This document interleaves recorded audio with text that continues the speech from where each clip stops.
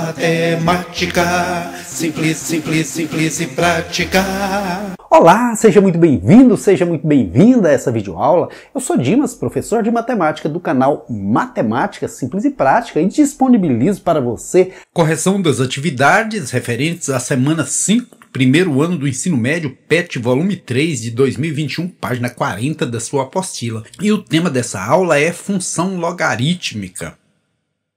Para você, meu querido aluno, minha querida aluna aí do primeiro ano A da Escola Antônio Fernandes, turma muito legal, aquele abraço. Em breve estaremos retomando nossas atividades normais, não é mesmo? Se Deus assim permitir. A você que é aluno de outra escola e também o meu abraço, meu muito obrigado por nesse tempo de pandemia aí você ter acessado minhas videoaulas. Isso me dá muita alegria em saber que a gente está podendo compartilhar o conhecimento, não é, Zé Joinha? Eu adoro matemática. É, menino, eu até fiz amizade com esse Zé Joinha aí, meu amiguinho virtual, não é mesmo? Vamos usar a imaginação e enquanto isso a gente vai superando os obstáculos. Esboce o gráfico da função y igual log de x na base 2. Eu vou pegar aqui alguns valores Primeiro, nessa linha, eu coloco os possíveis valores para x e nessa linha os valores de y, ou seja, de logaritmo de x na base 2. Eu vou pegar aqui de menos 3 até 3 no eixo y, porque aí fica uma parte mais expressiva da função. A gente poderia pegar quaisquer outros valores, porém, é, na origem aqui é sempre bom a gente ter a visão de como a função fica. Então eu pego do menos 3 até o 3, passo pelo zero, beleza. Então primeiro, menos 3 no lugar de y, porque o y é logaritmo de x na base 2, então eu vou igualar isso a menos 3. Como eu já mostrei nas videoaulas anteriores, a musiquinha, ouça aí. Mas é só ficar atento a esse ritmo. Com um giro se resolve um logaritmo. Mas é só ficar atento a esse ritmo. Com um giro se resolve um logaritmo. É, com um giro resolve-se um logaritmo. Então eu vou fazer um giro pegando aqui do menos 2, girando no sentido anti-horário, elevando ele ao cubo negativo, e isso vai ser igual girando aqui a x nas propriedades da potenciação diz que todo número elevado a um expoente negativo a gente deve inverter a base, ou seja, isso que está no numerador passa para o denominador. É como se aqui tivesse um 1, ele viesse para cima, para o numerador, e esse 2 elevado ao cubo negativo fosse para o denominador. Porém, ele vai positivo. Você inverte a base, mas chega lá no denominador com expoente positivo. Expoente é negativo, veja só como se faz. Ele fica positivo. É só inverter a base.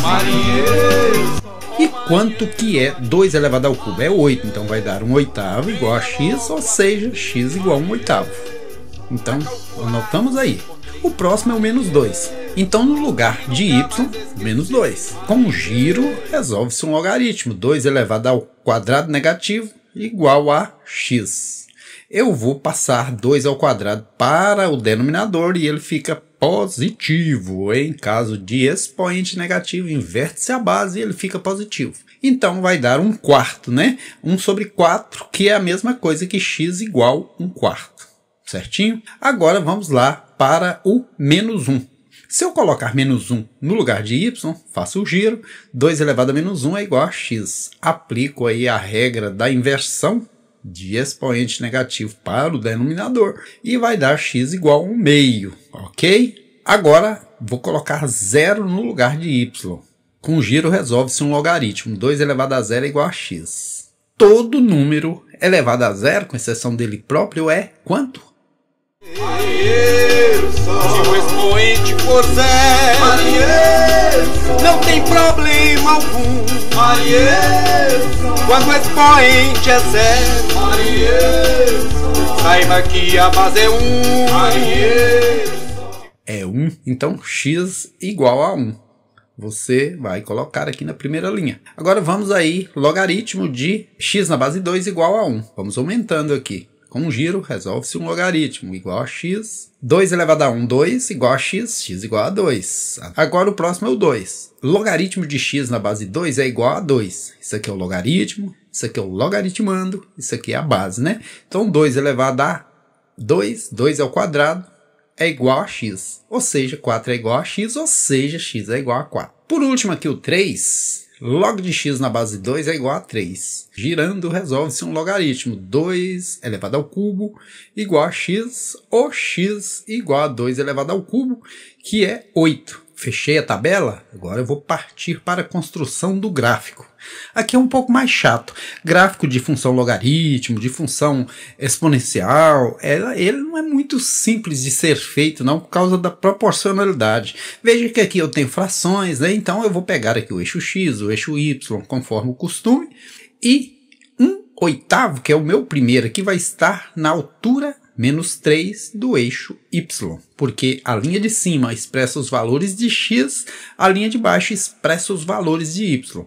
E no caso do 1 quarto, ele vai estar na altura menos 2 do eixo y.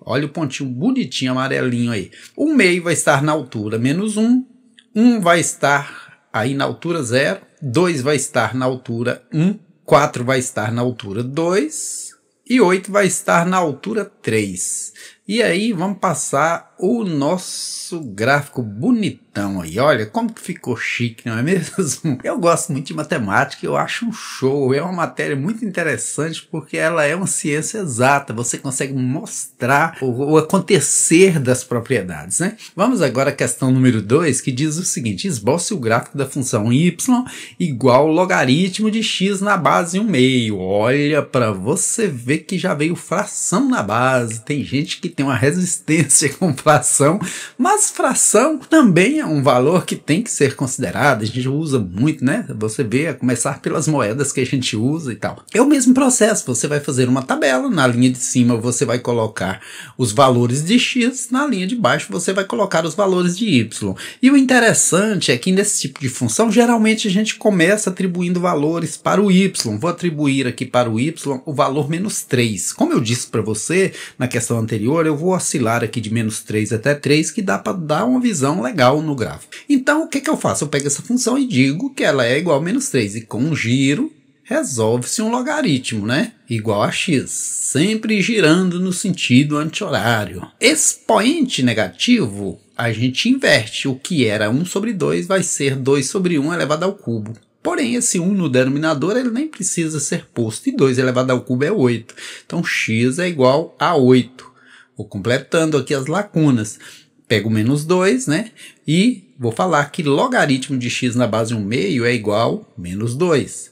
Com um giro resolve-se um logaritmo. Então pego um meio que é a base e elevo ao logaritmo menos 2 e vou achar o logaritmando x. Com isso a gente vai guardando esses nomes estranhos, né? Um meio elevado a menos 2 vai ser o quê? Vai ser 2 ao quadrado, porque esse 2 vai para cima, porque o expoente é negativo, ok? X é igual a 4, né? Simples assim.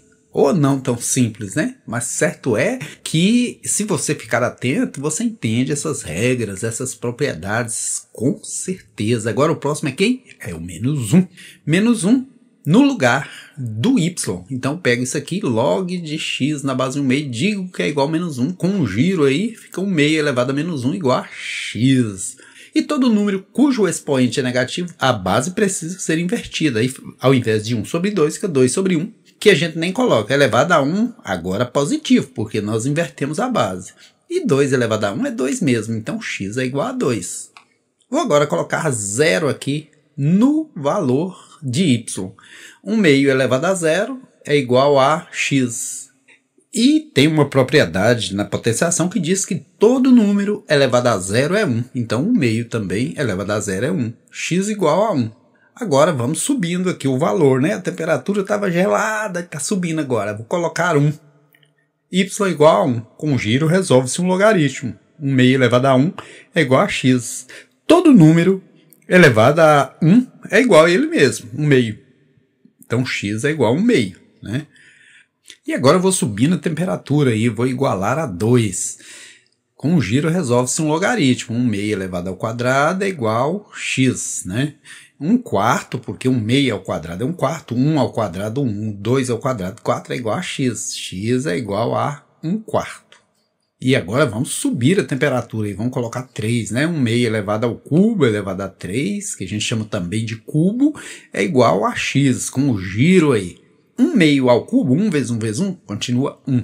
Agora, 2 vezes 2 vezes 2 dá 8, então dá 1 oitavo. x é igual a 1 oitavo. Então vamos anotando. Completa a tabela aí, a gente vai partir para a construção do gráfico. A gente vai esboçar o gráfico, desenhar, construir. E quando eu coloquei menos 3 no eixo y, deu 8 no eixo x. Então 8 e menos 3. 8 no eixo x, menos 3 no eixo y. E o pontinho na esquina. Onde eu coloquei menos 2 no eixo y, apareceu quanto no eixo x? 4. Então 4 e menos 2. Onde eu coloquei menos 1 no eixo y, apareceu 2 para o x, então 2 e menos 1. Onde eu coloquei 1 para o eixo y, apareceu 1 meio para o eixo x, então 1 e 1 meio. Onde eu coloquei 0 para o eixo y, apareceu 1 para o eixo x, então tá aí o pontinho. Onde eu coloquei 1 para o eixo y, apareceu 1 meio para o eixo x. Né? Onde eu coloquei 2 para o eixo y, apareceu 1 quarto para o eixo x, então um quarto e dois. Olha, subiu um quarto e dois. E o último ponto aí é um oitavo para o eixo X e 3 para o eixo Y. Agora é só passar a curva aí. Tá vendo? Ela tem uma inclinação, ela desce mais rapidamente, depois vai abrandando aí, vai diminuindo essa redução, né? Que ela é uma função decrescente. Por que, que ela é uma função decrescente? Porque a base é menor que 1. E aqui, ao passar o tempo, você vê que ela vai diminuindo o valor de y, certinho? Por último, aí a questão número 3 já pegou um pouquinho mais pesado e diz o seguinte: a escala de magnitude de momento m é dada pela fórmula m igual a menos 10,7 mais 2 terços de log de s, onde s é o momento sísmico. Faça um esboço do gráfico dessa função. Então pense o seguinte, aqui eu poderia fazer um gráficozinho simples, simples, simples, só observar se ela é uma função crescente, se ela é uma função decrescente, aqui no caso ela é uma função crescente. Por que, que eu sei disso? Porque a base aqui é maior que 1. Qual é a base desse logaritmo? Onde eu vejo isso, professor? Aqui, ó, log de S na base 10. Quando não aparece a base, é porque a base é 10. Então vamos aí fazer a tabelinha. Na primeira linha vamos pôr o S, que aqui é como se fosse o X. Na segunda linha vamos colocar a regra do jogo, que é o Y aqui, que na verdade está representado pela letra M, né? Eu vou atribuir alguns valores aqui, eu vou atribuir o zero, primeiro, só para te mostrar um negócio, o zero para o S, no momento zero, né? No momento zero, o que, que eu faço? Eu pego esse logaritmo que está em azul aqui e no lugar do S eu coloco o zero. Tá vendo o zero aqui? Ó?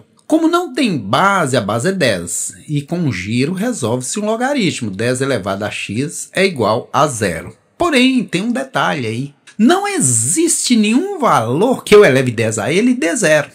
Na melhor das hipóteses, 10 elevado a zero é 1. Então não existe possibilidade para o x aqui. Não tem nenhum valor que atende essa demanda. Então aqui não existe um E, ao contrário, cortado. Certinho? No próximo ponto aí eu vou colocar 10. E por que, que eu vou colocar 10? Porque como eu estou trabalhando com potência de base 10, é mais fácil, dá menos trabalho para se resolver. Não seria obrigatório fazer isso, mas eu estou fazendo só para mostrar para você como que se constrói um gráfico nessas condições. Eu vou lá, substituo esse S por 10. Olha, tirei o S, coloquei o 10. Então, como é base 10, a gente fala 10 elevado a x é igual a, dá o giro, 10 Aqui eu posso colocar 1 quando não tem expoente. Sobre o que? x igual a 1. Então venho aqui e coloco esse 1. Logaritmo de s, quando s vale 10, é 1. 2 vezes 1, 2, dividido por 3 dá quanto? Vamos ver. 2 dividido por 3. Dá 0,666. Vou arredondar isso para 0,7. Aproximadamente aqui, eu estou fazendo um gráfico, não tem que ter precisão. Menos 10,7 mais 0,7 dá menos 10. Agora vou colocar 100. Como eu disse, como a gente está trabalhando com base 10, vou colocar os múltiplos de 10. É, 10, 100, beleza? Agora, no lugar que era S, agora é quanto? 100. Então, 10 elevado a x tem que ser igual a 100. 100 é o mesmo que 10 ao quadrado. Você dizer 100 ou dizer 10 ao quadrado é dizer a mesma coisa. x é igual a 2. Então, volto aqui e coloco 2. E se eu fizer aqui 2 vezes 2, 4 dividido por 3, vai dar 1,3333. Vou arredondar para 1,3. Certinho? E 1,3 positivo e menos 10,7 sobra menos 9,4, certinho? Agora vou pegar o próximo múltiplo de 10, que é 1000. No lugar de S vem 1000, então log de 1000 na base 10, porque não tem base. 10 elevado a x é igual a 1000. 1000 é o mesmo que 10 ao cubo sobrou x igual a 3. Eu volto coloco 3 aqui, olha. 2 vezes 3, 6, dividido por 3, 2. Quem deve 10,7 paga 2, fica devendo 8,7. Por último, vou pegar aqui 10 mil, o próximo múltiplo de 10. Não tem obrigatoriamente que ser com esses valores. Eu estou pegando porque dá menos trabalho, ok? Então, aqui no lugar do S, porque é logaritmo de S, então agora vai ser logaritmo de 10 mil. E não tem base, então a base é 10. Isso aqui é bom sem base, né? Tem um pessoal que fala, ah, isso é bom sem base. Na verdade, o que é bom tem base. A base 10 elevado a x é igual a 1000. 1000 é 10 elevado à quarta potência. Cachaca na muchaca, cortamos aí, sobrou x igual a 4.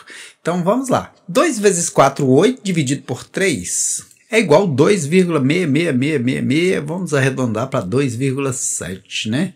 E aí, quando a gente pegar 10,7 negativo e colocar em cima 2,7 positivo, sobra 8 negativo. Prontinha minha tabela, agora vamos à construção do gráfico. Vai dar um gráfico bacana aí, hein? Primeiro x, depois o y. No primeiro ponto, não existe y. Então, esse primeiro ponto aqui eu nem vou colocar, vou colocar aqui direto do menos 10 no y e 10 no x. Olha, 10 e menos 10. Não coloquei o primeiro não, porque não existe, né? Não existe valor em y. Zero ainda não começou a acontecer. O 100 e menos 9,4 está aqui. Esse pontinho maravilhoso aí, amarelinho de ouro, meu pontinho de ouro. E o 1008,7 negativo está aqui. Agora, por último, o 10 mil e o menos 8 está aqui. E aqui vai passar a função. Ó. Ela é muito interessante.